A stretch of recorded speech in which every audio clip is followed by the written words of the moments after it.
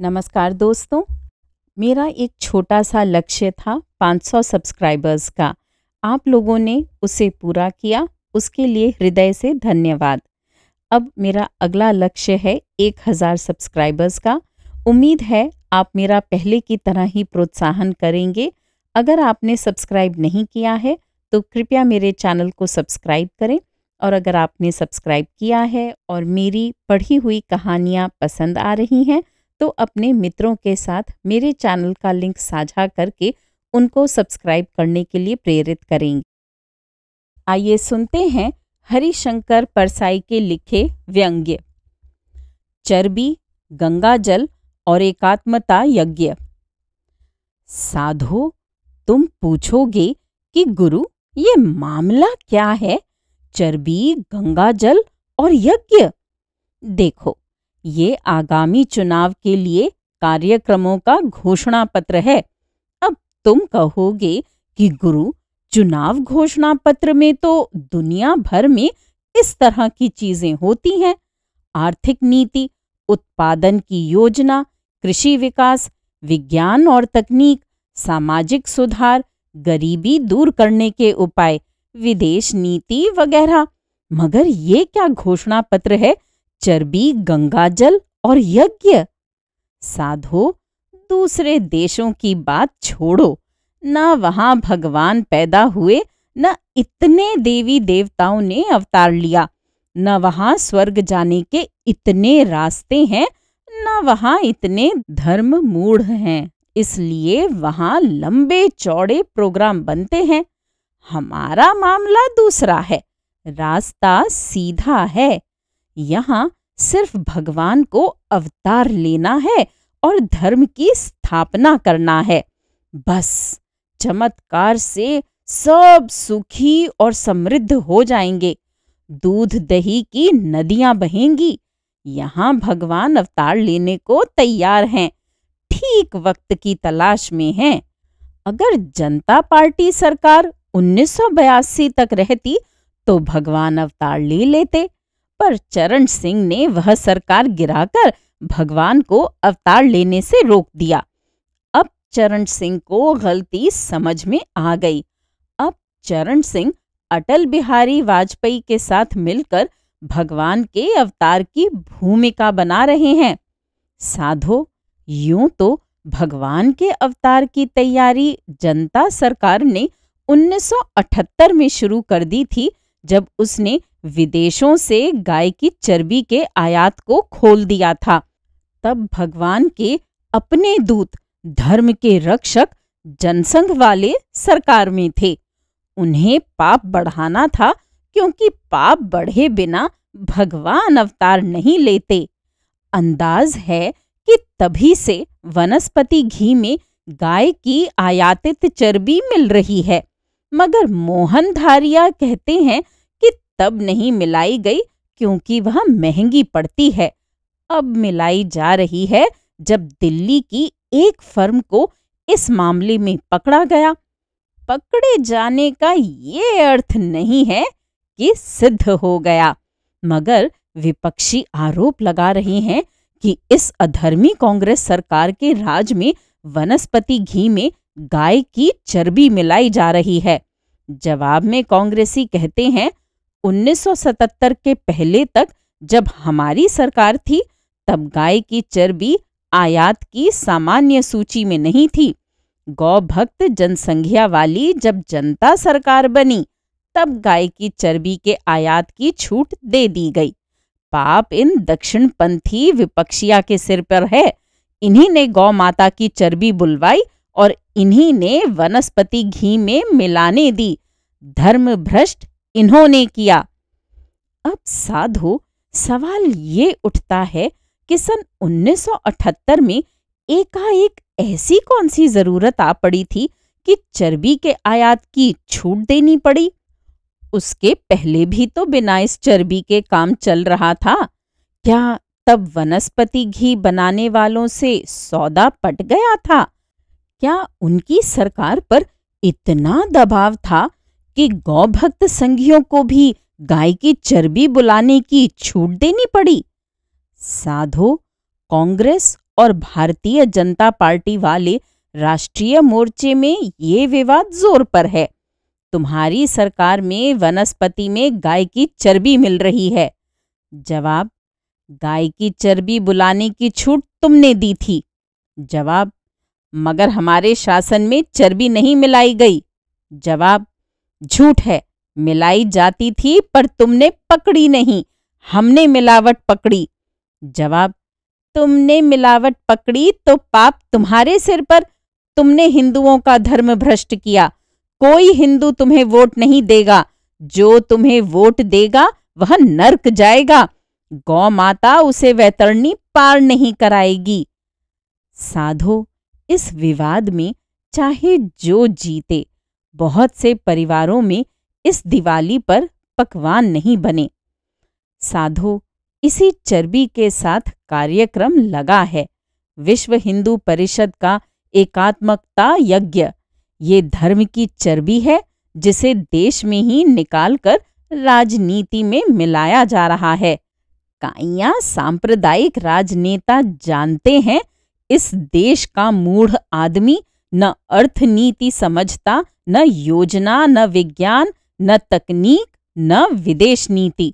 वह समझता है, गौ माता, गौ हत्या, चर्बी गंगाजल यज्ञ। वह मध्य युग में जीता है और आधुनिक लोकतंत्र में आधुनिक कार्यक्रम पर वोट देता है। इस असत्य, मूढ़, मध्ययुगीन जन पर राज करना है तो इसे आधुनिक मत होने दो। इसे गौमाता, गंगाजल, यज्ञ और रथ में उलझाए रखो। तो साधो, विश्व हिंदू परिषद की योजना है एकात्मकता यज्ञ। विश्व हिंदू परिषद क्या है? एक ही ब्रह्म की माया के कई रूपों में एक रूप है ये। वह ब्रह्म कौन है? वह ब्रह्म है हिंदू सांप्रदायिकता और पुनरुत्थानवाद। इस भ्रम का कारोबार संघ देखता है। इस भ्रम की माया के दूसरे नाम हैं भारतीय जनता पार्टी, अखिल भारतीय विद्यार्थी परिषद, विवेकानंद शिला स्मारक, कुछ हद तक अरविंद आश्रम, कल्याण आश्रम, महिला सम्मान आंदोलन, गिरिजन कल्याण संघ। किसी का कल्याण नहीं छूटा इस माया से। विद्वानों के कल्याण के लिए दीनदयाल उपाध्याय शोध संस्थान है, भारतीय विद्वत परिषद है, मजदूरों के लिए भारतीय मजदूर संघ है। तो साधो, एकात्मकता यज्ञ भारत यात्रा के रूप में होगा, ये कारों में निकलेगा, मगर कार का रूप रथ का होगा। साथ में साधुओं को इकट्ठा चलाया जाएगा, गंगा जी और गंगा सागर से लिया हुआ जल साथ में होगा। इसे आचमन के लिए श्रद्धालुओं को दिया जाएगा।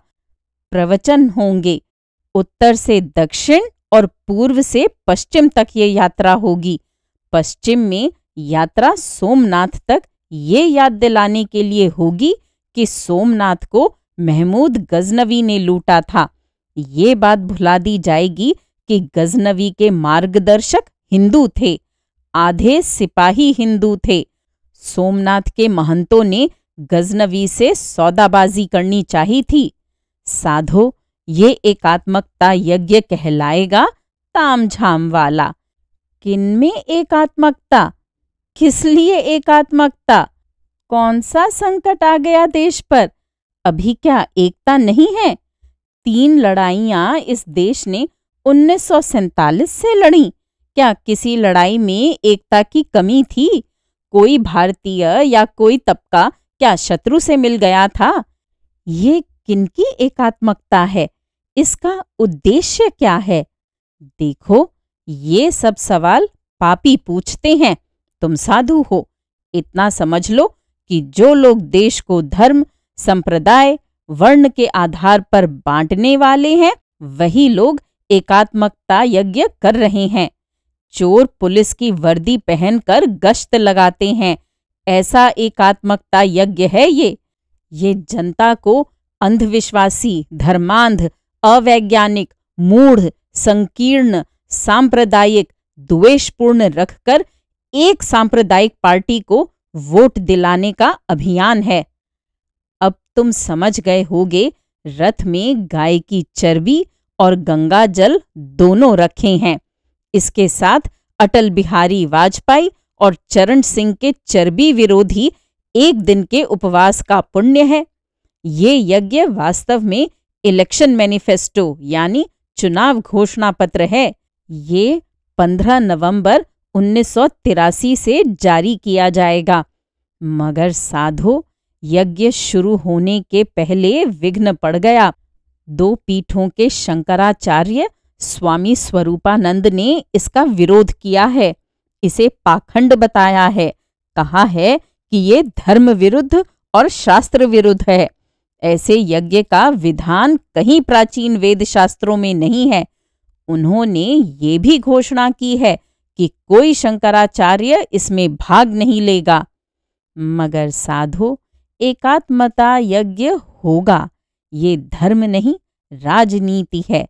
मैंने कहा ही है शुरू में कि आगामी चुनाव चर्बी और गंगा जल का होगा। श्रोताओं, ये लेख हरिशंकर परसाई ने 21 नवंबर उन्नीस सौ तिरासी में लिखा था। राजीव गांधी की अखबारों को नसीहत। साधो, राजीव गांधी व्यावहारिक राजनीति में अभी आए हैं। उन्हें उनकी पार्टी के लोग संजय गांधी बनाने की पूरी कोशिश कर रहे हैं, पर वे बन नहीं रहे हैं, न बनेंगे। उनका चरित्र दूसरे किस्म का है।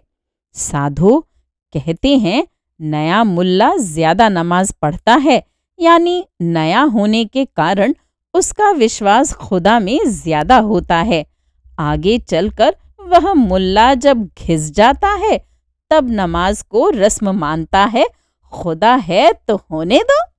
नमाज़ पढ़ना और पढ़ाना रोजी रोटी कमाने का ज़रिया है, यही वह मानने लगता है। साधो, कांग्रेस के राजनीतिक दांव पेंच छोड़ो तो राजीव गांधी कुछ मौकों पर सही और समझदारी की बातें कहते हैं। भोपाल में पत्रकारों के सम्मेलन में उन्होंने कहा अखबार राजनेताओं के भाषण ज़्यादा छापते हैं। दूसरी सांस्कृतिक, वैज्ञानिक, सामाजिक गतिविधियों के समाचारों की अवहेलना करते हैं। साधु, बात राजीव गांधी ने काफ़ी ठीक कही, मगर उस रैली में नारा लग रहा था। उत्तर दक्षिण, राजीव गांधी, पूरब पश्चिम, राजीव गांधी। समर्थक, चाटुकार चापलूस पार्टी वाले तो राजीव को चारों दिशाओं में व्याप्त भगवान बना रहे थे, क्योंकि आगे चुनाव टिकट वही देने वाले हैं। संजय थे तो नारे लगाए जाते थे। देश की नेता इंदिरा गांधी, युवकों के नेता संजय गांधी। लोगों ने मज़ाक बना लिया था। बच्चों का नेता वरुण गांधी। साधु सवाल राजीव गांधी से ये है कि उत्तर दक्षिण, पूरब पश्चिम, राजीव गांधी का समाचार अखबार छापें या न छापें? यदि न छापें तो खुद राजीव गांधी बुरा मानेंगे। इधर अखबार के मालिक संपादक को डांटेंगे कि आप हमारे संबंध खराब करा रहे हैं सरकार से। साधो, राजनेता प्रचार पर ज़िंदा रहते हैं। बड़े से लेकर मध्यम और छुट भैया नेता तक रोज अपना नाम अखबारों में छपाना चाहते हैं। वे भाषण देते हैं, बयान जारी करते हैं। कभी एक दो किलोमीटर की पद यात्रा करके चार कॉलम का समाचार छपाना चाहते हैं। ये अखबार वालों को घेरते हैं, मालिक से कहते हैं, इनके समर्थक अखबार तय हैं। साधो दूसरी बात यह है कि फिल्मी हीरो हीरोइन के बाद सबसे मनोरंजक इस देश के नेता ही हैं। सबसे हास्यास्पद रोल और सबसे मज़ेदार बात यही करते हैं। कितने नेता हैं जो अगर फ़िल्मों में मस्खरे का रोल करते तो विश्वविख्यात होते। चरण सिंह और जगजीवन राम जैसे बुज़ुर्ग नेता जो मनोरंजक बातें कहते हैं वैसी कोई फिल्मी कॉमेडियन भी नहीं कहता। लोग इंतज़ार करते हैं कि आज बाबूजी और चौधरी साहब क्या बोलते हैं। पाठकों को इस मनोरंजन से वंचित कैसे कर सकते हैं? मुसीबत छोटे शहरों से क्षेत्रीय अखबार निकालने वालों की है। स्थानीय विदूषक नेता तो संपादकों को हर कहीं सड़क पर मिल जाते हैं और शिकायत करते हैं। हमारा समाचार नहीं छापा आपने। इनसे कोई पत्रकार कैसे बचे? साधो, ये बात सही है कि भारतीय आदमी राजनीति की सबसे कम समझ रखकर भी राजनीति में सबसे अधिक दिलचस्पी लेता है। अमेरिका, फ्रांस, रूस के लोग राजनीति में इतनी दिलचस्पी नहीं लेते, मगर भारतीय पाठकों को अखबार खोलते ही राजनीति चाहिए। मगर राजनीति की समझ गौमाता, गंगाजल, मस्जिद, मंदिर, गुरुद्वारे से बनती है। सैद्धांतिक राजनीति बहुत कम लोग समझते और अपनाते हैं। ज़्यादा लोग नेताओं की देशव्यापी नाटक मंडली के अभिनय में दिलचस्पी लेते हैं। साधो, मेरे सामने दो अच्छे स्तर के क्षेत्रीय पत्र पड़े हैं। एक में पहले पृष्ठ पर ज्ञानी जैल सिंह, इंदिरा गांधी और यासर अराफात हैं। लंबा समाचार मुख्यमंत्री की पदयात्रा का है। बाकी नेहरू की जन्मतिथि के आयोजनों के समाचार हैं। ये समाचार भीतर के पृष्ठों पर भरे पड़े हैं। ये मौके होते हैं गांधी जयंती, नेहरू जयंती, जब छोटे छोटे बॉडम नेता जिनका विश्वास दोनों में नहीं है, दोनों को अच्छे आचरण का सार्वजनिक सर्टिफिकेट देते हैं। कहते हैं, हमें गांधी और नेहरू के बताए मार्ग पर चलना चाहिए। यानी हम नहीं चल सकते, क्योंकि हमारे एक पाँव में स्वार्थ का और दूसरे में बेईमानी का कांटा गड़ा है। इन नेताओं के सुभाषित छपेंगे ही, वरना ये परेशान कर देंगे। साधो, एक पृष्ठ क्रिकेट को समर्पित है। कहीं न कहीं टेस्ट मैच होते ही रहते हैं। कपिल देव और गावस्कर वगैरह भारतीय क्रिकेट के लिए बहुत ज़रूरी हैं। इधर नई दिलचस्पी पैदा हुई। फ़िल्म अभिनेत्रियों का क्रिकेट खिलाड़ियों के पीछे भागना। कभी सबसे दिलचस्प समाचार होता था जीनत अमान का इमरान खान के पीछे भागना। बस, शादी होने ही वाली है अब। जहीर अब्बास के पीछे रीना रॉय पड़ी हुई हैं। ये जानबूझकर प्रचार के लिए होता है। ढलती सेकंड ग्रेड अभिनेत्रियाँ अपने बारे में खुद इन कांडों को फैलाती हैं। इसके बाद पाठकों को चाहिए बलात्कार, अपहरण, प्रेमी से मिलकर पति की हत्या। अपराध ही क्यों? बड़े आदमियों की कलंक कथा भी चाहिए। इनके बिना पाठक का मन नहीं भरता। सवेरे किसी स्त्री के बलात्कार का रसीला विवरण पढ़ ले तो दिन भर आदमी दफ्तर में मन लगाकर काम करता है। ये रुचि किसने पैदा की? अखबारों ने अपराधों के प्रति खासकर यौन अपराधों के प्रति रुचि पैदा की। धीरे धीरे ये पाठकों की ज़रूरत हो गई और अखबार की मजबूरी। ये परस्पर क्रिया प्रक्रिया है। अब हालत ये है कि कोई अखबार अगर अपराध, खासकर यौन अपराध के चटकीले समाचार न दे तो उसकी ग्राहक संख्या घटती जाएगी। धंधा चौपट हो जाएगा। अब हाल ये है कि सिर्फ़ अपराध की पत्रिकाएँ निकलती हैं और लाखों बिकती हैं। फौजदारी वकीलों की फाइलों से कई लोकप्रिय लेखक हो गए हैं और खूब कमाते हैं। साधो, फिर ज़रूरी है राशि फल भविष्य। अखबार बिकने के लिए भविष्य फल ज्योतिषी द्वारा बनाया गया ज़रूरी है। ये सब झूठा होता है। ये अवैज्ञानिक है। मगर ज्योतिषी कह दे कि तुम्हें शनि लगा है तो वह आदमी घबराहट में गलतियाँ करके खुद ही शनि लगा लेगा और ज़िंदगी खराब कर लेगा। साधो, अब बताओ, भाभा अणु अनुसंधान केंद्र में क्या हो रहा है? इसमें किसी को क्या मतलब? विज्ञान से, संस्कृति से क्या मतलब? मगर हालत इतनी खराब है नहीं। मेरे पास के अखबार में ही अंतरिक्ष विज्ञान पर लेख हैं। सांस्कृतिक उत्सव का भी विवरण है। श्रोताओं, ये लेख हरिशंकर परसाई ने 28 नवंबर उन्नीस सौ तिरासी में लिखा था। उम्मीद है ये कहानियाँ आपको पसंद आ रही होंगी। मेरे चैनल पर आने के लिए और इन कहानियों को सुनने के लिए धन्यवाद।